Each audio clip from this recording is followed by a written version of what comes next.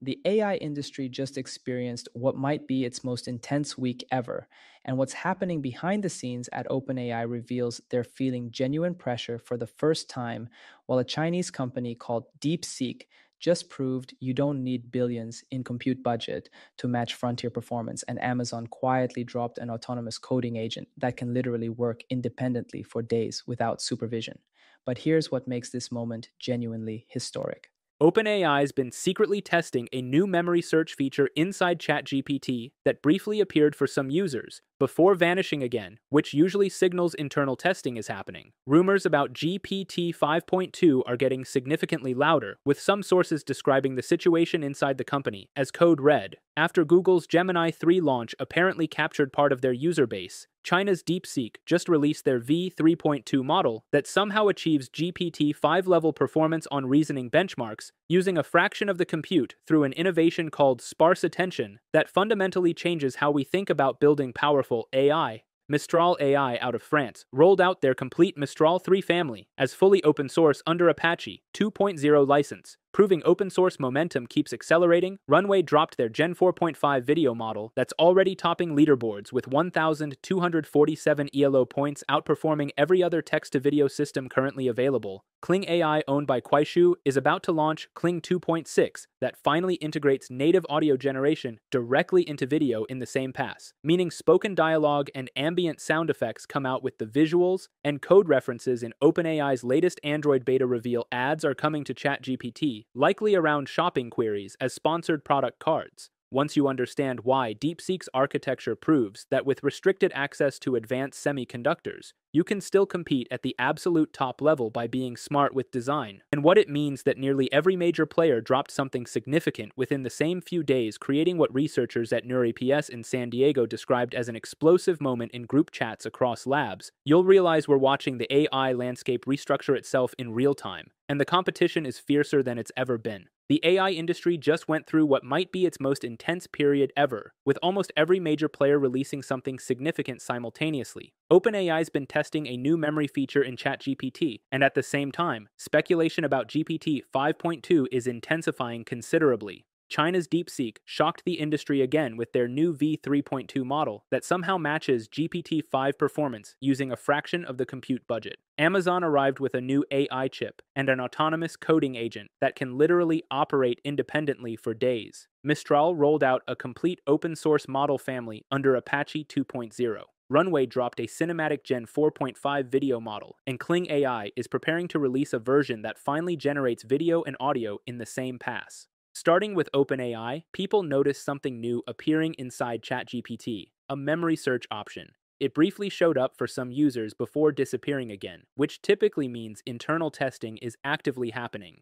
The core concept stays simple, yet surprisingly effective. Instead of scrolling through dozens of stored memory entries trying to locate something you told ChatGPT weeks ago, you'll be able to just ask it directly, and it'll pull that information from your stored data instantly. It's designed to fix one of the most frustrating aspects of the memory interface, which is the clutter that accumulates over time. What's particularly interesting is this looks almost identical to something already existing in the Atlas browser. Atlas has what they call browser memory, where users can search through everything they've seen or saved. Even the icons look nearly identical, which people noticed immediately. The feature isn't publicly available yet, but its brief appearance inside ChatGPT strongly suggests it's either being internally tested or slowly rolled out. OpenAI seems to be doubling down on better context handling, which makes sense as their models become more agentic. Memory is the one element that keeps ChatGPT from feeling truly persistent across sessions. A searchable version makes the assistant feel significantly more like a long term partner rather than just a chat window. And this might not be the only development on the way. Inside the company, reports indicate OpenAI is under considerable pressure after Google's Gemini 3 launch, which apparently captured some of OpenAI's user base. Some sources even described it as a code red situation internally, meaning they're accelerating internal development to regain ground. That's why many people think GPT 5.2 could arrive sooner than expected. possibly even before the year ends. If it drops around the same time as memory search, it would be a clear strategic move to remind everyone that OpenAI still leads when it comes to practical AI for productivity applications. It would also fit the pattern we've observed before. When competition intensifies, OpenAI pushes updates faster, but the competition right now is more fierce than it's ever been. And one of the main reasons is a company out of China called DeepSeek. They just released their V3.2 AI model, and the numbers are genuinely wild. It performs on par with GPT 5 in reasoning benchmarks while using far fewer total training flops. That's not just a technical detail, it represents a complete shift in how people might think about building powerful AI systems. Instead of throwing billions of dollars in compute at a model, DeepSeek managed to hit frontier level performance by being smart with its architecture. The whole thing is open source, and it lets organizations deploy advanced reasoning and agentic models without handing everything to a big US cloud provider. There are two versions the base DeepSeek V 3.2 and the DeepSeek V 3.2 Special. The special version is the absolute monster. It scored gold medal level on the 2025 International Mathematical Olympiad and the International Olympiad in Informatics. That's territory previously reached only by unreleased internal models from the top US labs. The base model itself hit 93.1% accuracy on AIME 2025 math problems and scored a 2386 rating on Codeforces, both right next to GPT 5 in reasoning benchmarks. For a company that's working with restricted access to advanced semiconductors, this is genuinely a huge deal. DeepSeek basically proved that with the right architecture, you can compete with the absolute best, even when you don't have NVIDIA's latest chips. Their key innovation is something called DeepSeek Sparse Attention, or DSA, traditional transformer attention scales with the square of the sequence length, which gets insanely expensive as you increase context size. DSA changes that fundamental equation. It introduces what they call a lightning indexer that selects only the most relevant tokens for each query, cutting complexity down dramatically. In simpler terms, it stops wasting compute on irrelevant tokens and focuses only on what actually matters for the task. They trained it from their previous checkpoint, DeepSeek V 3.1 Terminus, using 943.7 billion tokens. The results show up not only in benchmarks, but also in how efficiently it reasons during multi turn conversations. One clever addition in V 3.2 is how it handles tool use. Older reasoning models often discarded their thinking between turns, which meant they had to redo reasoning steps every time the user sent a new message. DeepSeek's architecture keeps those reasoning traces if only tool related messages are added, so it doesn't waste tokens re explaining its logic, that change alone makes a massive difference for agent workflows. Think autonomous research, multi step coding, or financial planning because it makes the model act less like a forgetful assistant and more like a steady coworker. Now on Terminal Bench, 2.0, which measures coding workflow accuracy, it scored 46.4%. On SWE Verified, it hit 73.1%. And on SWE Multilingual, 70.2%. Those are enterprise level results, showing it can actually handle production coding and problem solving. The team behind it went deep into agentic training, creating over 1,800 simulated environments and 85,000 multi step prompts so the model could learn how to generalize its reasoning in unfamiliar tool scenarios. For companies that need autonomy and transparency, DeepSeek made the base model open on Hugging Face. The special version, though, stays API only because of its high token use. The reaction from the research community was immediate. Susan Zhang from Google DeepMind praised DeepSeek's technical documentation, especially how they stabilized post training behavior. And at NeurIPS in San Diego, the news basically exploded. Group chats across labs were filled with people discussing it. Some experts, like Florian Tremere, who focus on China's open source ecosystem, said it's one of the few cases where an open source model actually competes at the very top level. DeepSeek also admitted that it still lags behind in world knowledge and token efficiency compared to models like Gemini 3 Pro since it used less total compute, but they're already working on scaling pre training resources and improving reasoning chain efficiency. For a lab under export restrictions, what they pulled off is borderline historic.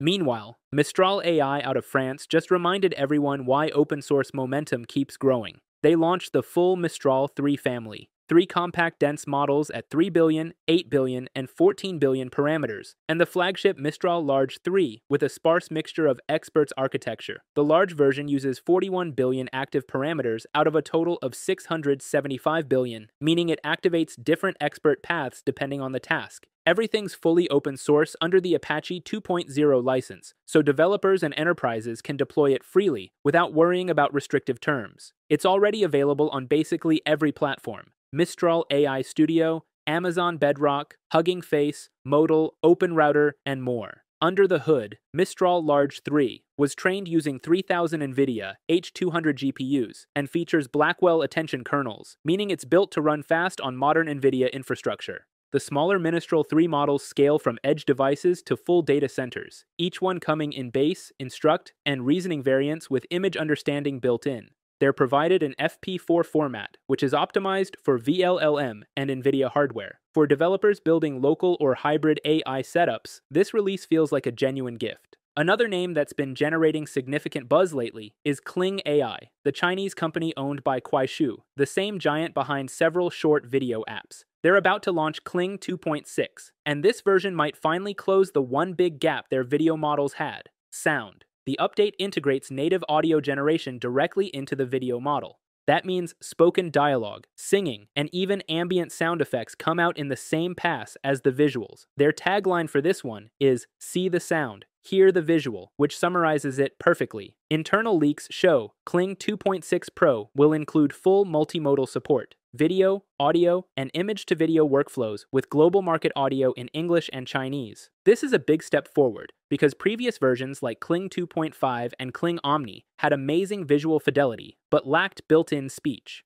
Now they'll go head to head with models like OpenAI's Sora 2 and Google's Veo 3.1, both of which already include audio support. The launch is expected around December 3rd during Kling Omni Launch Week, where the company is unveiling five new releases. Speaking of multimodal systems, Runway also showed up with something significant Gen 4.5, their new video generation model that's already topping the Video Arena leaderboard. It scored 1,247 ELO points on the Artificial Analysis Text to Video benchmark, outperforming every other model currently available. Runway says Gen 4.5 brings cinematic level visual fidelity and physical accuracy. Powered by NVIDIA Hopper and Blackwell GPUs, the improvements go deep. More efficient pre training data use, new post training methods, and optimized inference. It generates complex scenes with realistic object motion and emotional nuance, things earlier models struggled with. The only remaining challenges are small lapses in causal reasoning or object permanence, which basically means every now and then an object might disappear or shift incorrectly. Then we have Amazon, which decided to hit two different fronts at once hardware and autonomous agents. At AWS RE Invent, they unveiled three new AI agents they're calling Frontier Agents. AWS also introduced two companion agents the AWS Security Agent, which identifies security issues as code is written and even suggests fixes, and the DevOps Agent, which tests performance and compatibility automatically before new code goes live. Together, they're aiming to make entire software pipelines run with minimal human supervision. Amazon also announced a brand new AI chip, Trainium 3, which boosts performance across the board. Compared to the previous Trainium 2, it offers 4.4 times more compute performance, 4 times the energy efficiency, and nearly 4 times the memory bandwidth. The chip powers their Trainium 3 Ultra servers designed for massive AI workloads. Amazon even confirmed they're already working on Trainium 4, which will support NVIDIA's new NVLink Fusion Interconnect for even faster chip to chip communication. The direction is clear. They're building an AI hardware stack that competes directly with NVIDIA's dominance while keeping everything in house for AWS cloud clients. Now back to OpenAI because they quietly slipped another surprise into the Android app code. References hinting that ads are coming to ChatGPT were found in the latest beta version. Strings mentioning ads feature, bazaar content, search ad, and search ads carousel were spotted which basically confirms the company's preparing to integrate ads, likely around shopping and recommendation queries. Instead of inserting random ads into your chats, it looks like they'll appear as sponsored cards or product suggestions when you ask about commercial topics, kind of like how Google's AI overviews or Microsoft's Copilot handle it. There's even a mention of bazaar content, which sounds like a marketplace component for sponsored products. It's a logical move. OpenAI's free users create massive operational costs, and ad integration could help subsidize that while keeping premium tiers ad free. It also shows how AI assistants are merging with traditional search business models. Perplexity AI already does this, embedding sponsored prompts beside normal ones, and it's been profitable. That's it for today, folks. See you in the next video.